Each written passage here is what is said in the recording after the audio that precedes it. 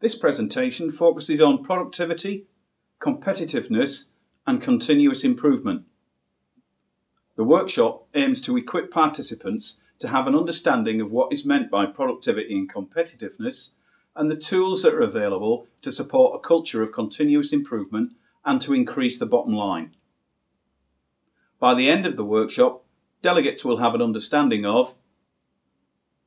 productivity and competitiveness and how the tools and concepts can be used to improve the bottom line, the tools that are in place that support productivity, competitiveness and continuous improvement, how to introduce some of the concepts and tools in relation to productivity, competitiveness and continuous improvement into your organisation, and the types of statistical and methodical processes that are available for collecting data,